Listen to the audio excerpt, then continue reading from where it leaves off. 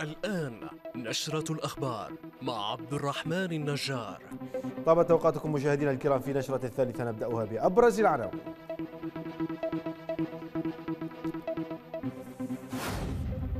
الديمقراطي الكردستاني يجدد رفضه تمرير برهم صالح لولاية ثانية ويؤكد قرار الاتحادية منحنا فرصة لتمرير مرشحنا للمنصب.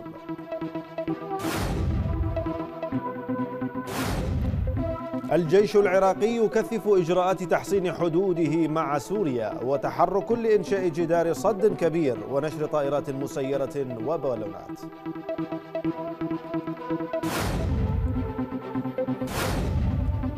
روسيا تبرر عملياتها العسكرية في أوكرانيا وتذكر العالم بغزو أمريكا للعراق البعيد عنها بذريعة تهديد أمنها القومي.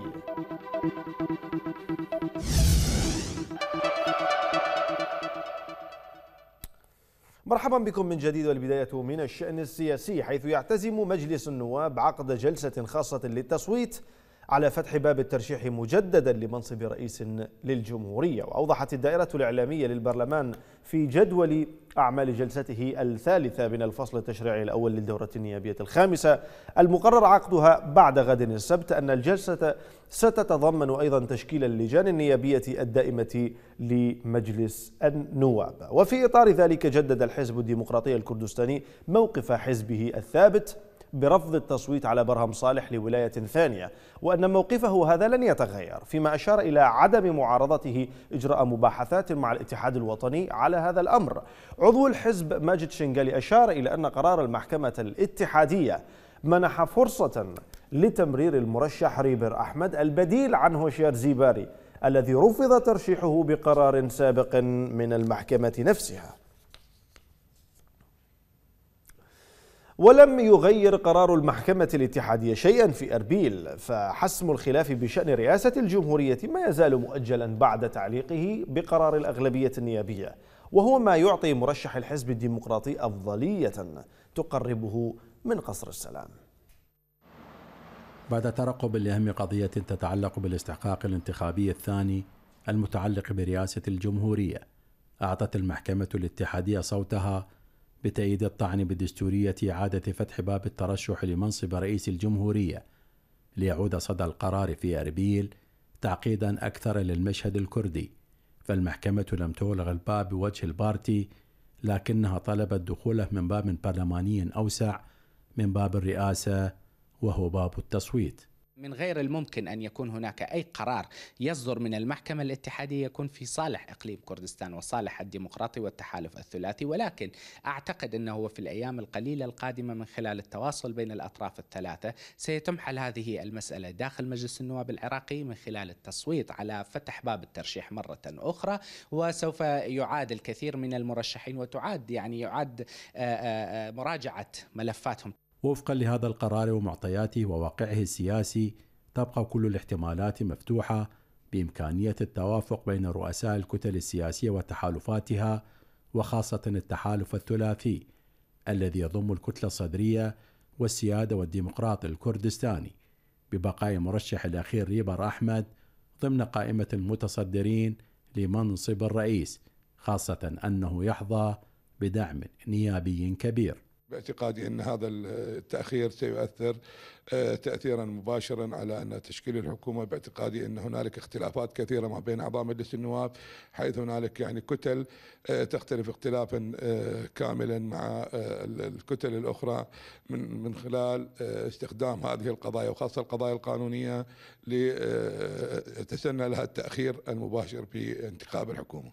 اشتدت المنافسة من جديد فالمعادلة السياسية على ما يبدو باتت واضحة المعالم فالاتفاق بين البارتي واليكتي عند حدود نقطة لا عودة رغم عدم اجتيازها فهو قائم على فرضية صعبة التحقق متعلقة بالتوافق حول مرشح واحد لتكون أصوات أعضاء البرلمان فيصلا وحكما لجواز مرور أي مرشح لمنصب رئيس الجمهورية.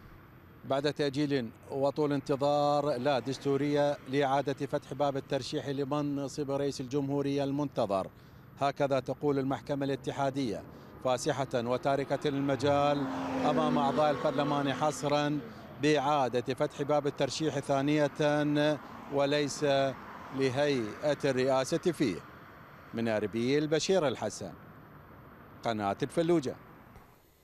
ولم تغلق المحكمة الاتحادية باب الترشح لرئاسة الجمهورية بل قررت أن مفتاح الباب هو تصويت البرلمان. فضمن تحالف ضمن تحالف الأغلبية بذلك الرئاسة وكسب الإطار وقتا للحوار السياسي. لكنه وقت مقتطع من عمر الحكومة المقبلة. مرشح من سيصل إلى قصر السلام. فطريق الرئاسة يمر بمتاهات الخلافات السياسية والطعون القانونية ومحاولات كل من الحزبين الكرديين الرئيسيين كسر إرادة الآخر. منذ بدء العملية السياسية بعد عام 2003 كان هناك تقاسم واضح للمناصب. حزب البارتي هو من يتسلم رئاسة الإقليم وحزب الاتحاد هو من تكون له حصة رئاسة الجمهورية. في هذه الفترة هناك محاولات من قبل حزب البارتي للتمدد على حساب حزب الاتحاد وبالتالي تكون مناصب الإقليم ومناصب في الحكومة الاتحادية هي من حصته فقط. هذا ولد خلافات كبيرة جدا بين الحزبين وانعكست على طبيعة العملية السياسية برمتان. بلغة الأرقام سيمتد تاريخ تسمية رئيس الجمهورية إلى أكثر من شهرين بعد أن أخرجته المحكمة الاتحادية من سياقه الحالي وأعادته إلى البرلمان مرة أخرى. ولكن في سياق مختلف يعتمد تصويت أعضاء البرلمان بالأغلبية على فتح باب الترشح. إذا لم يتغير شيء سوى تأسيس لمنهج دستوري للقضية إن تكررت في المستقبل. أما الحاضر فالقرار أتاح مزيدا من الوقت للحوارات السياسية. يفترض الآن من مجلس النواب أن يكتبوا كتاب إلى المحكمة الاتحادية لغرض الاستيضاح ما هو عدد النواب الذين يصوتون؟ هل نصف زائد واحد أم أغلبية أم أغلبية مطلقة؟ حتى مرة ثانية ما تعاد الكرة أيضا يبقى كتابنا وكتابكم وبالتالي يبقى الصراع والجدال دائر. هل نذهب مع نصف زائد واحد؟ وبالتالي حتى لا نعود مرة أخرى للمحكمة. على مسار دستوري تعود قضية حسم رئاسة الجمهورية من المحكمة الاتحادية إلى البرلمان بانتظار تمديد جديد بعد أن طعن بالتمديد السابق لكن الوقت الذي تراه كتل سياسية مكسبا وفقا لمصالحها يراه الشعب خسارة وفقا للمصلحة العامة.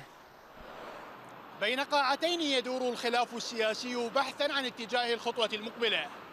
قاعة البرلمان وقاعة المحكمة الاتحادية. وخلال البحث ينتظر قصر السلام سيده المقبل فيما باتت الخريطة والبوصلة بيد تحالف الأغلبية بعد قرار المحكمة الأخير. من بغداد علي عبد الكريم الفلوجة الفضائية.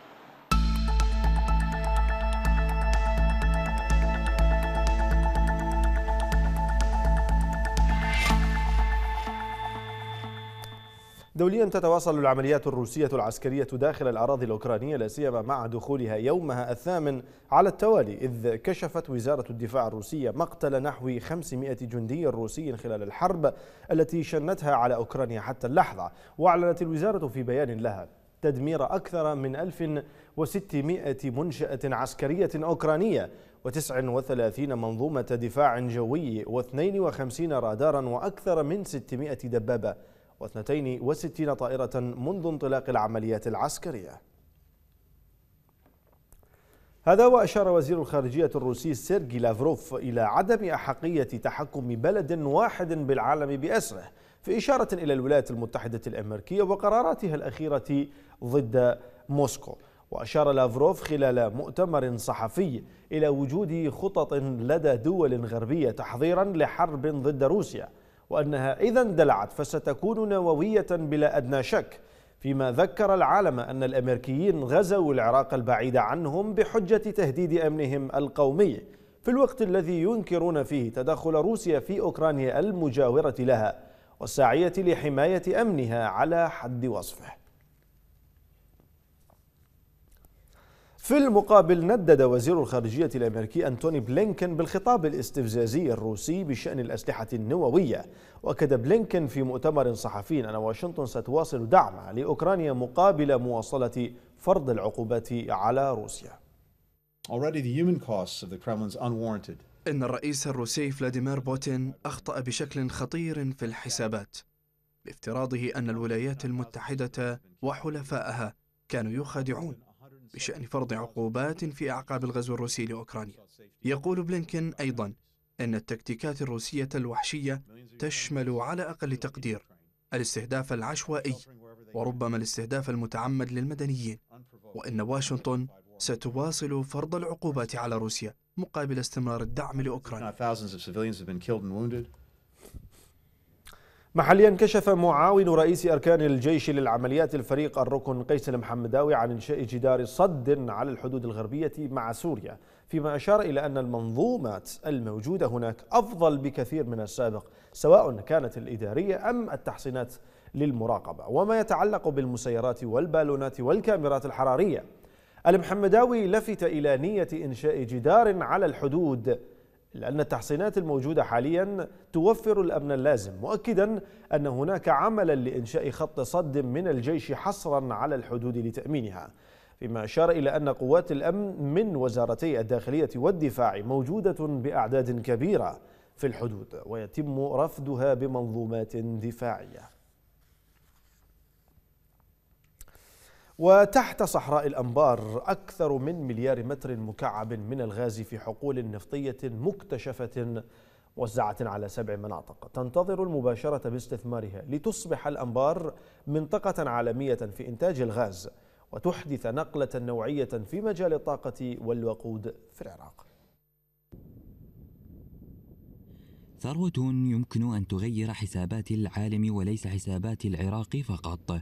لكنها ما تزال تحت رمال الصحراء في الأنبار حل لمشكلة الطاقة العراقية وأزمة الغاز الدولية وهذا بطبيعة الحال إن تم استثمارها فأكثر من مليار متر مكعب من الغاز في حقول نفطية مكتشفة موزعة على سبع مناطق تم التنقيب فيها أخيرا شملت حقول عكاز والريشة والرطب ووادي أبو شامات والنخيب وجميعها في صحراء الأنبار.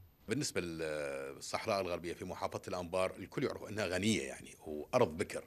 آه، قبل فترة آه، بير عكاز اللي تقريبا مساحته تساوي مساحة آبار قطر وروسيا مجتمعة. لحد هاي اللحظة ما استثمرنا عندنا أيضا الرمل الزجاج.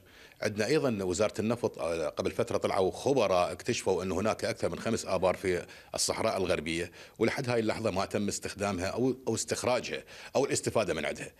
هذه الاكتشافات يمكن أن تسهم في إدراج المحافظة ضمن المحافظات المنتجة للنفط والغاز.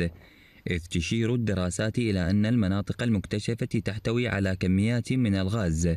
تفوق ما تم اكتشافه في حقل عكاز الغاز عشر مرات. الأمر الذي يستدعي الإسراع في إدخال الشركات الرصينة والمتخصصة بالتنقيب وتأسيس البنية التحتية اللازمة لاستثمار هذه الثروة الهائلة. أرى لزاما على الحكومة العراقية الموقرة المقبلة أن يكون ليس للأنبار نفط لجميع أخوة العراقيين بالشمال والجنوب والوسط أن يكون لتلك الحقول تحت الأرض أه وجبة جديدة استثمار هذا الخام وهذا الكنز من الذهب لكي ننعم العراقيين بسعادة وشعب كذا. وعلاوة على ما تحتويه الحقول المكتشفة من ثروات فإن توسع القطاع النفطي وقطاع الاستخراج يسهم في توفير فرص عمل لآلاف العاطلين.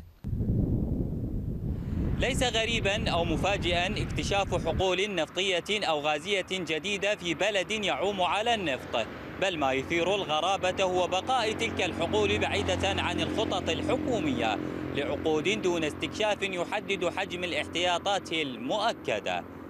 من الرماد إدريس يحيى قناة الفلوجة.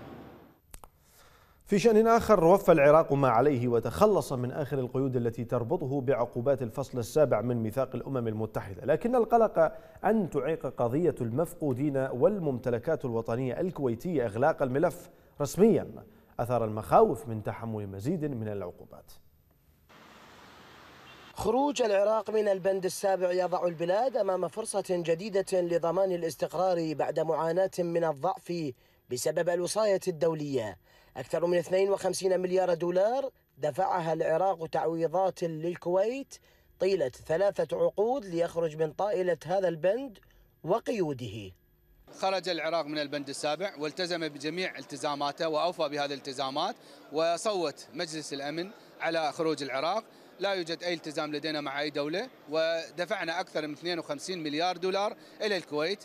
بنسبة كانت 5% من آه، واردات النفط وأخيرا كانت 3% هذه الواردات وهذه النسبة ستخصص إلى أبناء المجتمع العراقي. كان هناك قانون يلزم قانون دولي وأممي يلزم العراق بأن آه، يقدم هذه المقدرات وهذه الديون إلى دولة الكويت.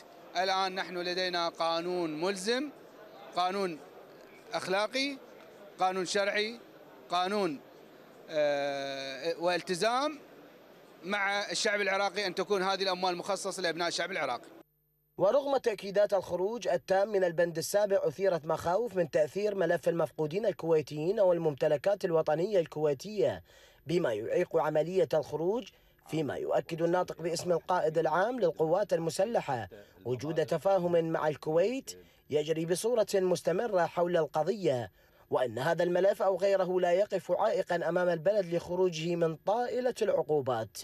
أعتقد أنه إحنا عندنا تعاون جيد مع آه، الجارة العزيزة دولة الكويت في مجال آه، متابعة ما يخص رفات المفقودين والممتلكات الأميرية.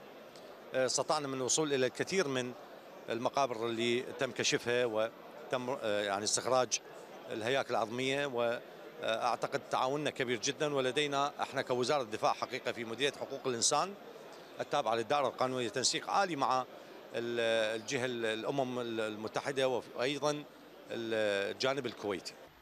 حقبة العقوبات انتهت فعليا وأنهى العراق التزاماته تجاه اللجنة الدولية المعنية. وبانتظار إنهاء اللجنة أعمالها يبقى العراق فقط بانتظار قرار رسمي من مجلس الأمن الدولي لإغلاق القضية. أنس يوسف قناة الفلوجة بغداد.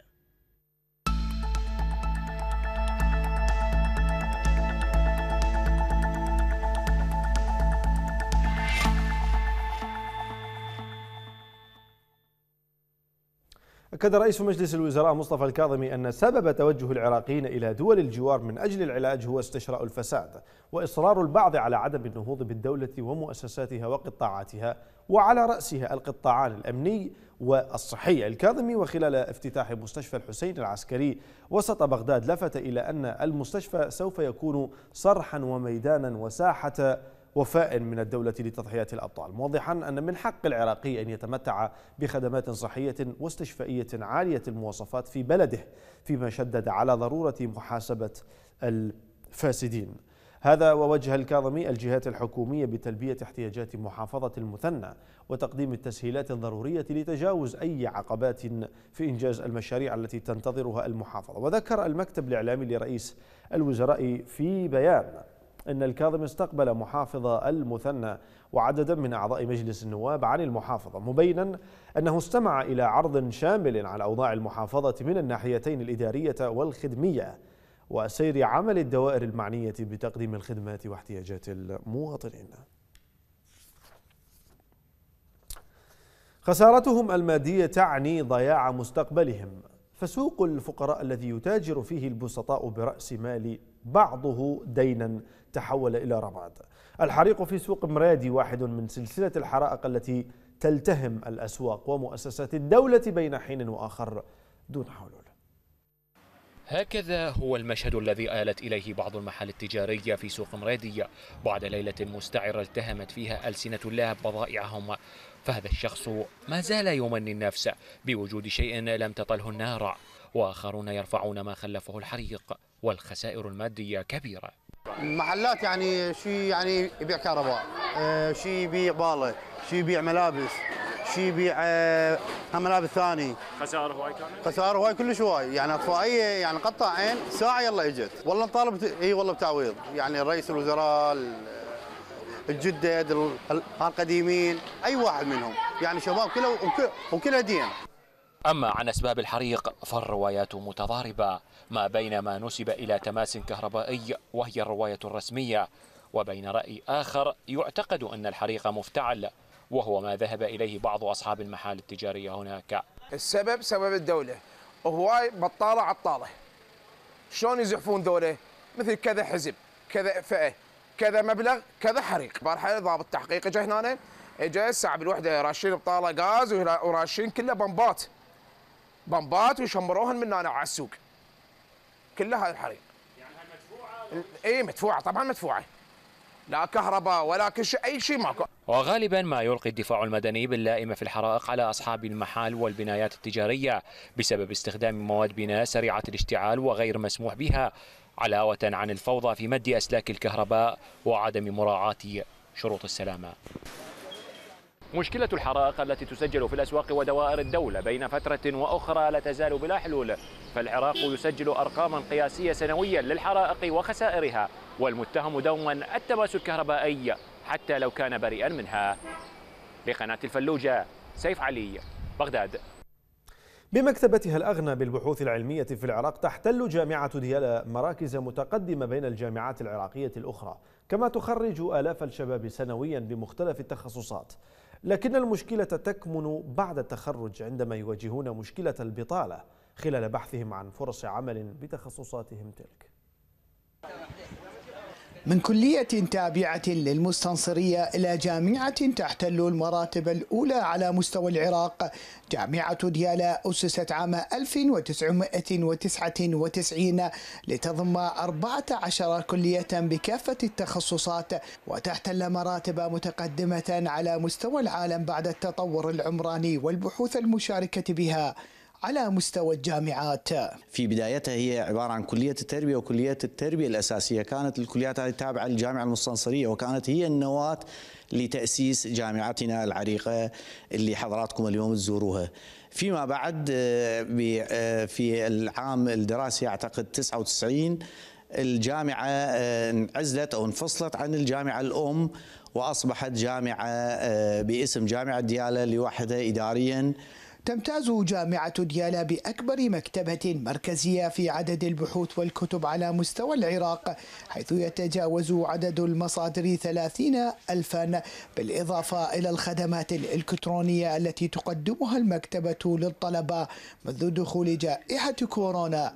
ولغاية الآن. من خلال هذه النافذة أو هذه البوابة استطاعت المكتبة تقدم العديد من خدمات المعلومات إلى الطلبة والباحثين في ظل جائحة كورونا. على سبيل المثال اتاحت كل فهارس الرسائل والأطاريح الجامعية على موقع الويب حتى الطالب يقدر يتعرف عليها. اتاحت آه، خدمات الإحاطة الجارية اللي هي إعلام المستفيدين والباحثين بأهم مصادر المعلومات اللي موجودة بالمكتبة. آلاف الطلبة يتخرجون من هذه الجامعة كل عام وبكافة التخصصات.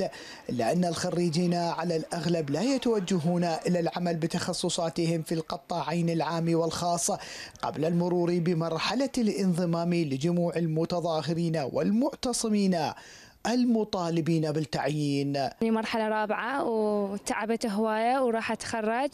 آه، أريد يعني فرصة تعيين يعني مو أروح أتظاهر وهاي. يعني فرصة تعيين نطالب من الحكومة يعني تعيين رسمت خارطتها العلمية بتحد وإصرار لتحتل مراتب متقدمة على مستوى العراق وتكون بوابة لآلاف الطلبة كل عام. من داخل جامعة ديالا عمر العبيدي قناة الفلوجة. جاءت عائلته من كردستان إلى الفلوجة قبل أكثر من أربعين عاماً. سامي مواطن كردي يعيش في مدينة الفلوجة ويعدها مدينته الأم. ليس هو فحسب بل هناك حي قديم في الفلوجة يسمى حي الأكراد نسبة لكثرة العائلات الكردية التي سكنت المدينة. زودي كرباشن. والله كر زورة فلوجو. بوا ما أحداثك شقر يا وادي. يعيش في مدينة الفلوجة منذ أربعين عاما. ولم يستطع مغادرتها بسبب حبه الكبير لهذه المدينة. سامي مواطن كردي من كردستان. قصته تؤكد على الأخوة بين أطياف الشعب العراقي خاصة أنه يعتبر الفلوجة مدينته الأم. والله لما جينا من الفلوجة ما 76 رجال ظلينا الفلوجة ما رجعنا. بحياتنا شو قضينا بالفلوجة معاملتهم زينة. فلوجه زينه ما مو زين معاملتهم حيل زينة. بكل الضياف. ماكو فرق إن شاء الله. ظلينا بفلوجه وهذا حالنا الحمد لله والشكر. يعني ماكو تفرقه يخرج سامي منذ الصباح ليزاول مهنته التي عمل بها منذ عام 2005 اللهم ارزقنا ارزق ولد محمد. آه تفتيح عندنا الصبح تعامل أهالي الفلوجة معه كواحد من أبنائهم. كما أنه أحب عمله الذي يعتبر مصدر رزقه الوحيد ومن عاداته أن يستقبل زبائنه بكلماته الكردية اللطيفة.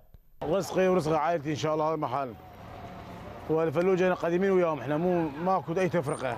ماكو لا هذا غريب ولا هذا غريب كل الطائفة موجود بالفلوجة الحمد لله والشكر. أمن وأمان. كاكا سامي يمكن ولادته فلوجه آه، والدة كان هنا أتباع في من فلوجه آه، إحنا هنا عندنا حي اسمه حي الإكراد. هذا الحي آه، كل سكناه إكراد. منذ ولادة بهم منذ ولادتهم منذ هنا في مدينة فلوجه كاكا سامي أحد أبناء هذه المدينة اللي ولد في هذه المدينة ويعتبر واحد من هذه المدينة. رغم إنه قوميته الكردية لكنه أحد أبناء هذه المدينة. شاي شاي ما تسمعه عن الفلوجة من كرم وضيافة يعتبر من التقاليد العشائرية التي تربى عليها أبناؤها وعلى الرغم من الأزمات التي مرت بها المدينة فما زال أهلها يتحلون بأطباعهم الكريمة. من الأنبار أحمد ناجي قناة الفلوجة. في نينوى عاد عدد كبير من النازحين إلى مناطق سكناهم في قضاء الحظر بنسبة تقترب من 70% من عدد السكان الكلي. وطالبت الحكومة المحلية للقضاء الجهات المعنية بتسهيل معاملات التعويضات لسكان الحظر وذلك دعما لإعادة إعمار منازلهم. داعيا المنظمات الدولية إلى تكثيف الجهود لدعم السكان نظرا لظروفهم المعيشية الصعبة. نسبة العودة في قضاء الحظر نقدر نقول 70% إنه أكو ناس في قضاء الحظر أو أكثر هذه النسبة. يعني هسه من تجي القضاء الحظر تبحث لك عن مكان أو بيت ما تلاقي بيت فارغ. تعويضات قضاء الحظر خلينا نقول قضاء كان مهجر بالكامل وعائد بالكامل. من خلالكم نوجه شكرنا وتقديرنا للمنظمات الدولية. عملت لدينا منظمات ولكن ندعو أيضا إلى مضاعفة الجهود في دعم أهالي قضاء الحظر. وندعو دائرة التعويضات بالاهتمام بالمدن والأقضية والنواحي التي دمرت آه، ندعوهم إلى تسهيل الإجراءات الخاصة بالتعويضات. والله إحنا رايدين التعويضات بس تعال تعويضات معاملات معقدة. يعني اكو ناس صار لها سنين ولحد الآن كل شيء ماكو. مشينا معاملة تعويضات لحد الآن. اليوم صار سنة ونص ما استلمنا أي مبلغ. عندنا شهداء أو عندنا معاملات مال شهداء لحد الآن ما صرفوا التعويضات لنا. الراجع للموصل يقولون على الدفعه على الشهر الثالث. وشهر الواحد يدفعون على الثاني والثاني دفعنا على الثالث. لحد الآن مو مستلمين ربع دينار. مشاهدينا النشرة انتهت إليكم أبرز ما جاء فيها.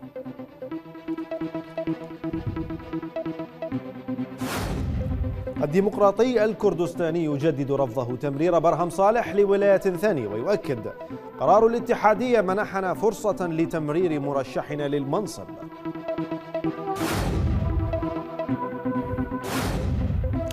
الجيش العراقي يكثف إجراءات تحصين حدوده مع سوريا وتحرك لإنشاء جدار صد كبير ونشر طائرات مسيرة وبالونات.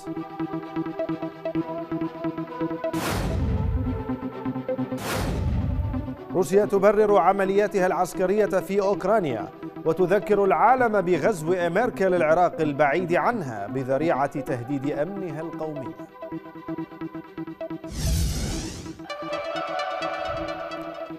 مشاهدينا النشرة انتهت للمزيد من الأخبار والمعلومات. يمكنكم زيارتنا على مواقع الفلوجة الخاصة بنا. شكرا لكم.